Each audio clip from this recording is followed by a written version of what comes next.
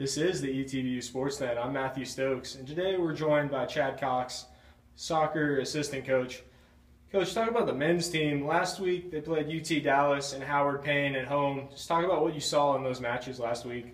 Yeah, last week um, I think we grew a lot last weekend. Um, I think Friday night we started UTD. They're high ranked team, um, always a good program, very strong in our conference.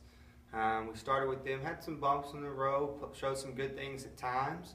Um, but I thought Saturday we came back very strong against Howard Payne.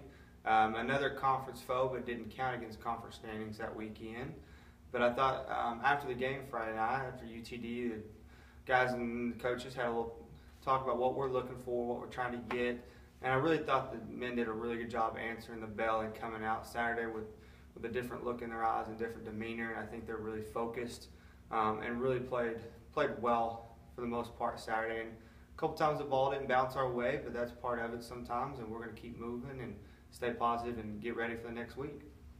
Right, and the next week is here. It's Friday, Friday afternoon. We got a there's a match tonight. It's the conference opener for the men against LeTourneau University, rivalry game, and also the, the conference opener.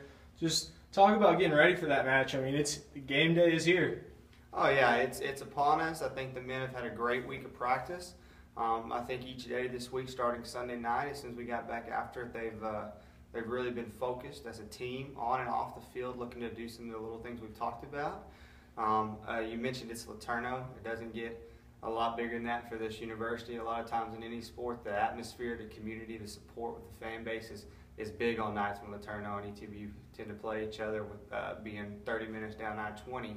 So that's obviously just adds a little extra element of fun and excitement for everybody that's a part of the game. And it started a conference. The men have uh, learned a lot of over preseason. We've come a long way in a short period of time, on and off the field, um, becoming a unit and a family better. And uh, I think they're really ready to get the conference uh, conference play started on the right note tonight. All right, thanks for joining us, Chad. It's been Matthew Stokes here on the ETBU Sportsnet. Be sure to follow us on the internet on www.etbu, and look for us on social media at Go ETBU Tigers on Twitter and Facebook and Instagram.